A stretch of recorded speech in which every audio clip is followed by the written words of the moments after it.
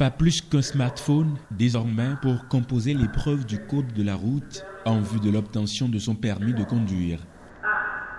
Deux mois seulement auront suffi à Alain Hinkati pour faire mettre au point une application qui range les feuilles et stylos à billes qui ont commencé par être source de défaillance. Cette défaillance, vous le savez autant que moi, qu'on n'a pas une bonne réputation en ce qui concerne l'organisation de l'examen de, permis de conduire au Bénin. Donc dès lors que j'ai noté qu'il y avait beaucoup de risques sur le dispositif existant, j'ai décidé de différer l'organisation de l'examen du mois de février et pour pouvoir euh, proposer quelques améliorations dans le dispositif. C'est ces améliorations-là qui ont permis euh, la mise en place du système que vous observez. Je pense que cette nouvelle formule est la meilleure parce que euh, ça nous évite le stress.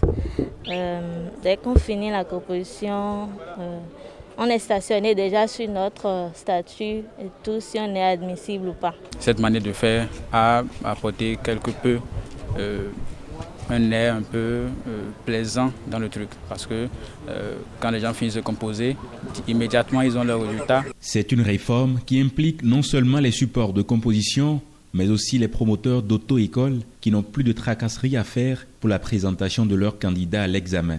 C'est le moment de dire que l'ensemble des auto-écoles avaient toujours souhaité ça. Et bon permis bénet on a un permis ici de Torogudo de Bayo.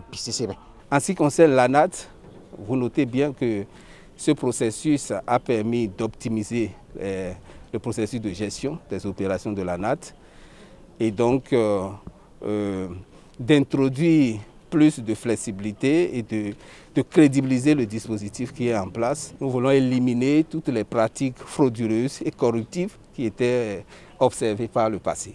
Et en même temps que nous faisons ça, nous améliorons la collecte des recettes eh, publiques. Mis en œuvre à partir du département du littoral et de l'Atlantique, le nouveau dispositif sera opérationnel d'ici peu dans toutes les annexes de l'Agence nationale des transports terrestres situées dans les différentes régions du Bénin.